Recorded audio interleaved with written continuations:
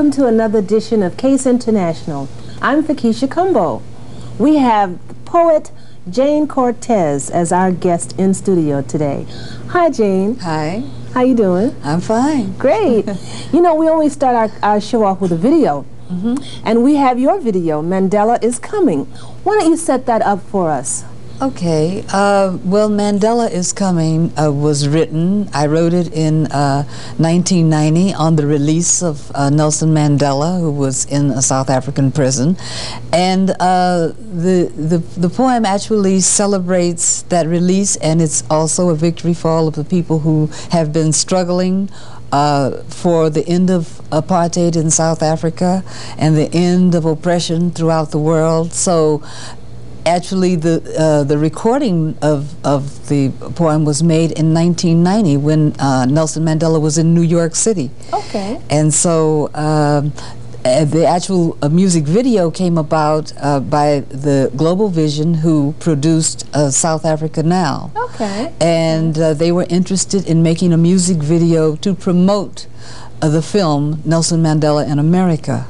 And so I was very pleased with the outcome of the music video because I think uh, they were able to match a lot of different images with the words in the poem that make a very good presentation. Let's, so let's look at that now. Why not? Mandela is Coming by Miss Jayne Cortez. Uh -huh.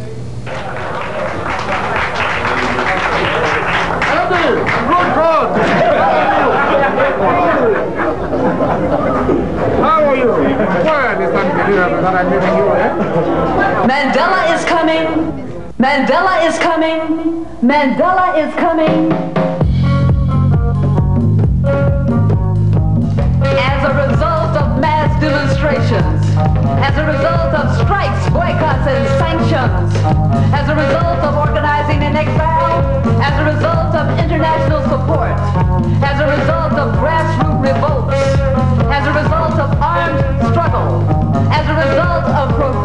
Democratic thinking, as a result of revolutionary commitment, as a result of the sacrificial blood, Mandela is coming, apartheid is going. Mandela is coming, apartheid is going. Mandela is coming, apartheid is going. And I would watch television and say, he's gonna come, it's almost, I'd go back. Mandela not to open his mouth about freedom. They told him he'd better capitulate to oppression. But Mandela refuses to be brutalized into submission. Mandela did not let himself be beaten down by insults. Mandela made the sacrifice, and the sacrifice made Mandela. Mandela makes progress for the movement, and the movement makes progress with Mandela. Apartheid is going. Mandela is coming. Apartheid is going. Mandela is coming. Apartheid is going. The real meaning of celebrity comes out when a man like that walks in the room. You have kept us very much entertained in prison, you know? Mandela did 27 hard ones. Not in a windowed room, but in a barred one. They'll probably put a bullet in me, but I'm prepared to die and Mandela's free. Very hard. It seems like a dream. I can't believe it. They speak, I mean, uh, they only speak in emotional adjectives, you know. You didn't have to come here to be very present with me. But oh, how it makes me dance to see you. We have fought against white domination and have fought against black domination. We intend to remain true to this principle to the end of our days. Mandela knows law. Mandela is a lawyer. Mandela knows tradition. Mandela is a traditional chief. Mandela knows how to organize. Mandela is organizer for the ANC. Mandela knows the United States of America. Mandela spoke in New York, Boston, Atlanta, Miami, Detroit, Los Angeles, Oakland, and Washington, D.C. Mandela became a hero to the people in the USA. Mandela is coming. Apartheid is going. Mandela is coming. Apartheid is going. As a result of the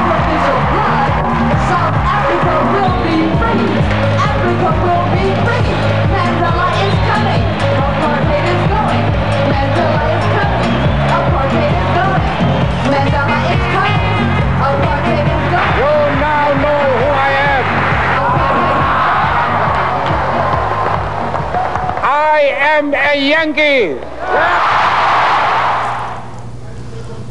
I love that. I do too. I love that. You know, how do you choose your topics? Oh well, you know, topics come about through life. I mean, you you don't uh, you don't choose your topics every day. I mean, uh, my poetry uh, addresses everyday routines. It's about uh, ordinary events and other kind of events. Uh, I write about war. I write about catastrophes. I write about abuses of women. Uh, I write about a lot of things, and it just comes about of living. You know, I. what? I, there's so much I want to ask you. Yeah. What happens when you are performing? What you happens? something that sometimes uh, the microphone goes dead, the monitors don't work. but then there are better moments too when everything is working uh, and the musicians are playing and we are listening to each other.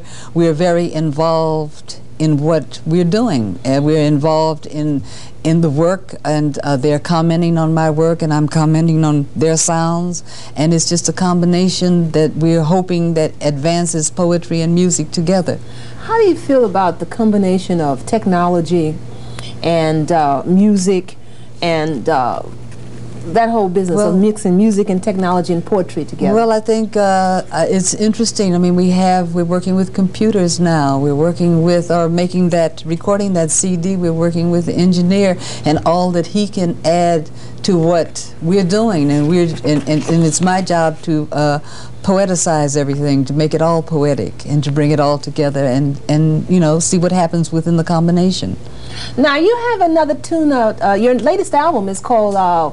Everywhere drums. okay, and you have the Fire Spitters. The Fire Spitters. Now that's tell the us about the Fire Spitters. Okay, well, that name is we- really I know you want to talk like- about the yeah, name. I like that name. I'm going to use that somewhere. Okay, well, I, I wrote a piece uh, called Fire Spitters in 1977, and I was uh, writing it and responding to a, a cultural event in Lagos, Nigeria called Festac, which was a very big uh, arts festival. And I wrote Fire Spitters, and it was a, because of the mixture of people and the mixture of the arts and the combination of things that people could do. And so later I uh, decided to call a book Fire Spitters, a, a collection of my poetry, Fire Spitters. And then when I got the band, I called the band Fire Spitters because we were spitting fire. And also I have a mask, a Senufo Fire Spitter mask from the Ivory Coast. And it's a fire spitter mask, and it has a combination of an array of double teeth and horns and all kinds of things, and it means magic and power. Uh-huh. And so I just took that as a very dynamic combination of words and things and put it together. What what inspires your creativity? What inspires my creativity? Creativity inspires my creativity. I'm inspired by I'm inspired by creative people. I'm inspired by creative events. Um, I'm inspired by the fact that I like to write poetry. I like words. I like uh, messing with languages. I like uh, uh, I like words because words are in control of themselves. uh, Because you cannot control words, and I think that that is inspiration to me. Uh, Have you always written poetry I from a little I- child? Or? I really think so because I used to write, uh, I used to have notebooks and I used to write in notebooks my little secrets and put drawings in there, and I still do that. I still keep notebooks of my observations and my secrets and, and what I intend to do and so on. And uh, I think that that's a source, you know, for writing more serious works of using the notebook to do so. You know, um, that book you're holding in your hand is Uh-huh. a wonderful, wonderful book. And uh, speaking on the things that inspire you, Yeah. there's a poem in there about, I think it's the very first one, Mm-hmm. about jazz fans or something. Oh, it's called Jazz Fan Looks Back. Since I was a jazz fan very early as a child and in teenage life, uh, I was very inspired by a lot of jazz music and by women like uh, Billie Holiday and Sarah Vaughan and Dinah Washington and those women who could put the parts together and really make it mean something and be very serious and they were very special to me. And so I wrote this because Well, I was, a, you know, I thought this would be a good intro for this book. Okay. okay it's called Jazz Fan Looks Back. I crisscrossed with Monk, wailed with Bud, counted every star with Stitt, sang Don't Blame Me with Sarah, wore a flower like Billie, screamed in the range of Dinah and scattered how high the moon with Ella Fitzgerald as she blew roof off the Shrine Auditorium jazzed at the Philharmonic. I cut my hair into a permanent tam, made my feet rebellious metronomes, embedded record needles in paint on paper, talked bopology talk, laughed in high-pitched saxophone phrases, became keeper of every bird riff, every Lester lick, as Hawk melodicized my ear of infatuated tongues, and Blakey drummed militant messages in soul of my applauding teeth, and Ray hit bass notes to the last love seat in my bones. I moved in triple time with Max, grooved high with Diz, Perdido with Pettiford, flew home with Hamp, shuffled in Dexter's deck, squatty rude with Peterson, dreamed a 52nd Street theme with Fats, and scattered Lady Be Good with Ella Fitzgerald as she blew roof off the Shrine Auditorium jazz at the Philharmonic. Oh, I love it. I love it. What's the title of that book? Uh, the title of the book is called uh, Poetic Magnetic. And that is one of how many books have you written? That is another one of too. maybe eight books. This is um, Coagulations. Coagulations? Uh huh. Okay. Now, when did this one come Uh, out? uh, poet, um, Coagulations came out in 1984. Okay. And Poetic Magnetic was released in 1991. But you also do you publish your own books? Sometimes uh, this uh, Coagulations actually was published by Thunder's Mouth Press. Okay. And uh, sometimes I have my own uh, company. It's called Bola Press, and we are uh, book uh, publishing book, a press of books, a press for records, a press uh, to stop oppression. Okay. did did uh, Bola Press put out your latest CD?